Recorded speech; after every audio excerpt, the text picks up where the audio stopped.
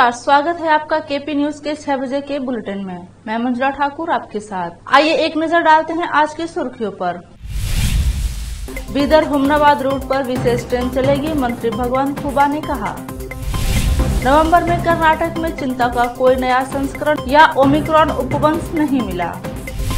S D Kumaraswamy Karnataka के मुख्यमंत्री होंगे, सीएम इब्राहिम का कहना। चुनाव से पहले कर्नाटक सरकार बिजली दरों में कटौती करने की योजना बना रही है। नौसेना दिवस के मौके पर पीएम मोदी ने नौसैनिकों को दी बधाई। कहा, भारत में हमें आपके समृद्ध समुद्र इतिहास पर गर्व है।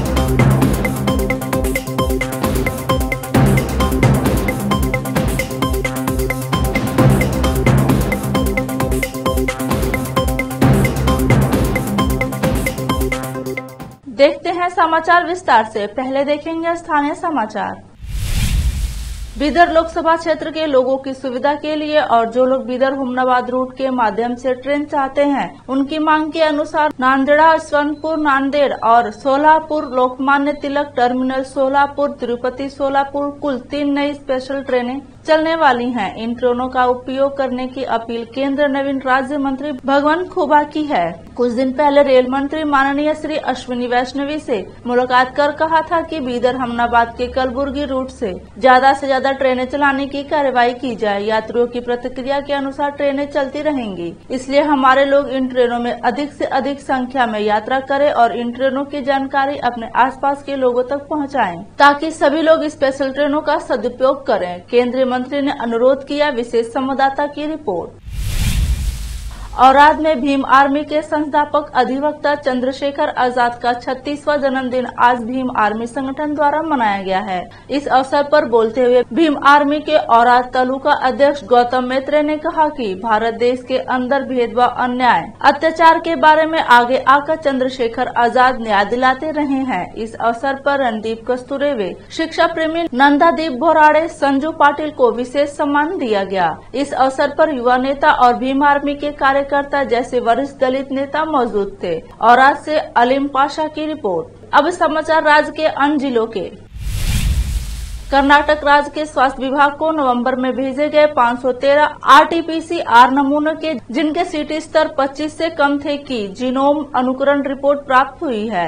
इंसा कोग ने पुष्टि की है कि नवंबर में कोविड के ईटीए कम्पा पेंगो वेरिएंट का बोलबाला रहा है और वे दो सौ छियानवे सैंपल में पाए गए। कोविड के ओमिक्रॉन वेरिएंट की सब लाइनेज में नवंबर में गिरावट आई थी और वे 217 सैंपल में थे। अच्छी खबर यह है कि ओमिक्रॉन का कोई नया सब वेरिएंट नहीं है। जनता दल एस के विधायक दल के नेता एस डी कुमार स्वामी ने कहा था कि अगर पार्टी अपने दम पर सत्ता में आती है तो वो किसी मुस्लिम या दलित को मुख्यमंत्री बनाने के लिए तैयार हैं। लेकिन राज्य जनता दल एस के अध्यक्ष सी एम इब्राहिम ने कहा कि इस तरह के सवाल का कोई मतलब नहीं है। उन्होंने कहा कि कुमार स्वामी दो हज़ार तेईस के विधानसभा चुनाव के बाद मुख्यमंत्री होंगे, जबकि मुस्लिम, दलित, महिला, ओबीसी, लिंगायत या अन्य समुदाय के नेताओं को उप मुख्यमंत्री के पद के सृजित किए जाने पर समायोजित किया जाएगा। सीएस इब्राहिम ने कहा, कुमार स्वामी ने मुस्लिम या दलित सीएम की इच्छा व्यक्त की है और इसमें गलत क्या है? यहाँ पार्टी के अध्यक्ष के रूप में मैं कहता हूँ कि कुमार स्वामी खुद सीएम होंगे, लेकिन इस बात की संभावना है कि वो राष्ट्रीय राजनीति में प्रवेश कर सकते हैं। 2024 लोकसभा चुनाव और वह गैर बीजेपी और गैर कांग्रेस पार्टियों के एक साथ आने के साथ प्रधानमंत्री भी बन सकते हैं। फिर अन्य लोग यहाँ मुख्यमंत्री बनेंगे। बिजली के बिल कम होने की संभावना है, क्योंकि कर्नाटक सरकार बिजली दरों में संशोधन की योजना बना रही है। यह एक ऐसा कदम है जिस पर आगामी विधानसभा चुनाव पर असर पड़ा है। ऊर्जा मंत्री वी सुनील कुमार ने बताया, हम चाहते हैं कि उपभोक्ताओं की सभी श्रेणियों, घरेलू, वाणिज्यिक और औद्योगिक में टैरिफ कम हो और इस दिशा में निर्देश जारी किए गए हैं। सरकार ने बिजली आपूर्ति कंपनियों, एसकॉम से यह सुनिश्चित करने के लिए कहा है कि जल्द ही उन्हें आने वाले टैरिफ संशोधन संशोधन के दौरान उपभोक्ताओं पर बोझ नहीं पड़े। लेते हैं एक छोटा सा ब्रेक जल्द लौटेंगे ब्रेक के बाद। हिंदुस्तान के हर कोने में हम हैं मौजूद।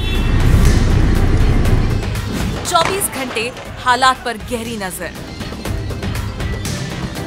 खबरों से जुड़े चुपते सवाल और आपको दिखाता है धार्मिक, सामाजिक राजनीतिक लोकल और इंटरनेशनल न्यूज़ की सबसे बेहतर कवरेज जो आपको रखती है हर पल बाखबर। देश और दुनिया भर की खबर के लिए देखते रहें। केपी न्यूज़ 24/7 हिंदुस्तान के हर कोने में हम हैं मौजूद। 24 घंटे हालात पर गहरी नज़र। खबरों से जुड़े चुपते सवाल और आपको दिखाता है धार्मिक, सामाजिक, राजनीतिक, लोकल और इंटरनेशनल न्यूज़ की सबसे बेहतर कवरेज।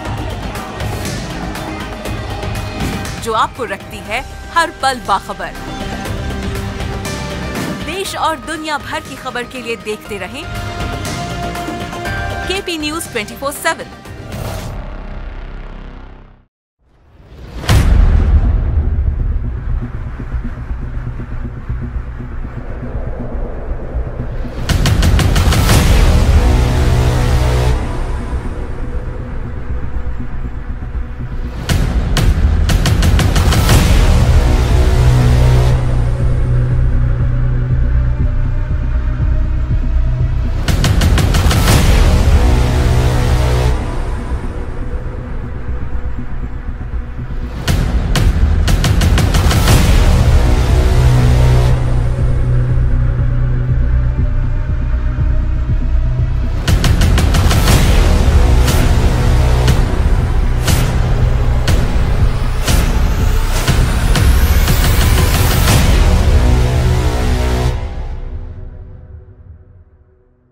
ब्रेक के बाद आपका स्वागत है। चलिए देखते हैं देश और विदेश के समाचार। भारत हर साल 4 दिसंबर को नौसेना दिवस नेवी डे मनाता है। यह दिन 1971 के भारत पाकिस्तान युद्ध के दौरान भारतीय नौसेना के ऑपरेशन ट्राइटेंट की उपलब्धियों को याद करने के लिए मनाया जाता है। इस मौके पर प्रधानमंत्री नरेंद्र मोदी ने रविवार को नौसेना दिवस पर नौसेना की सराहना करते हुए कहा कि उसने दृढ़ता पूर्वक देश की रक्षा की है और कठिन समय में भी अपनी मानवीय भावना से अपनी एक अलग पहचान बनाई है। पीएम मोदी ने ट्वीट किया, सभी नौसैनिकों और उनके परिवारों को नौसेना दिवस पर शुभकामनाएँ। भारत में हमें आपके समृद्ध और समुद्री इतिहास पर गर्व है। उन्होंने लिखा, भारतीय नौसेना ने दृढ़ता पूर्वक हमारे राष्ट्र की रक्षा की है और कठिन समय में भी अपनी मानवीय भावना से अपनी एक अलग पहचान बनाई है।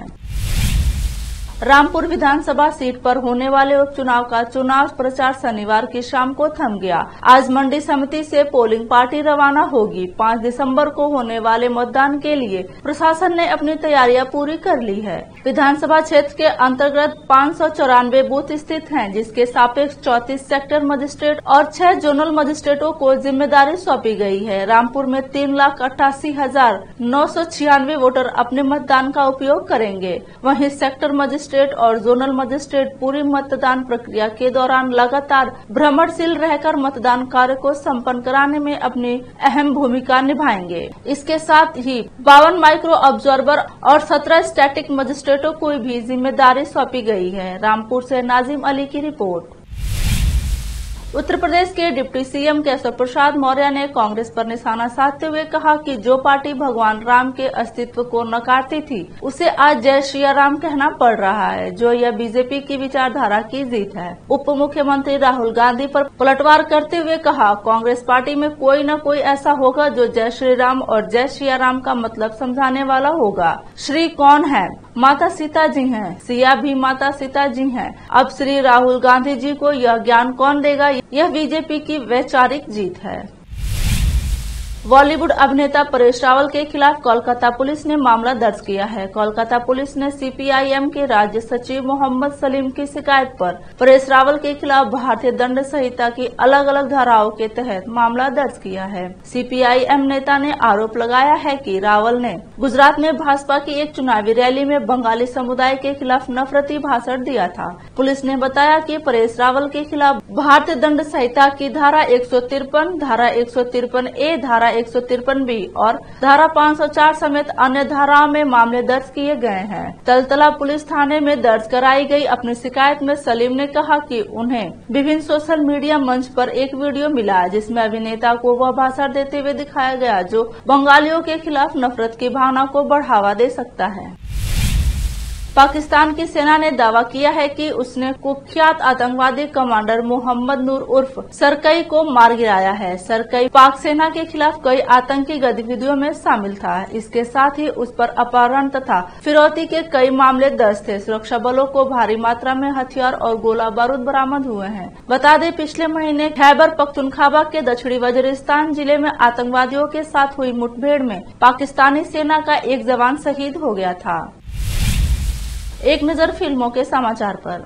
रघुधाधा से कीर्ति सुरेश का फ़र्स्ट लुक जारी, इस अंदाज में नज़र आई एक्ट्रेस। अब समाचार खेल जगत के। फीफा वर्ल्ड कप 2022 40 साल के इंतज़ार को खत्म करना चाहेगा पोलैंड। क्वार्टर फाइनल में जाने के लिए पार करनी होगी फ्रांस की चुनौती। आखिर में देखते हैं समाचार बाज़ार के। खिलौना कारोबारियों को बड़ी राहत देने की तैयारी सरकार ला रही है बेहतरीन स्कीम। फिर से एक नज़र सुर्खियों पर। बीदर हुमनाबाद रूट पर विशेष ट्रेन चलेगी, मंत्री भगवंत खुबा ने कहा। नवंबर में कर्नाटक में चिंता का कोई नया संस्करण या ओमिक्रॉन उपवंश नहीं मिला। S D Kumaraswamy Karnataka के मुख्यमंत्री होंगे, सीएम इब्राहिम का कहना। चुनाव से पहले कर्नाटक सरकार बिजली दरों में कटौती करने की योजना बना रही है। नौसेना दिवस के मौके पर पीएम मोदी ने नौसैनिकों को दी बधाई। कहा, भारत में हमें आपके समृद्ध समुद्री इतिहास पर गर्व है।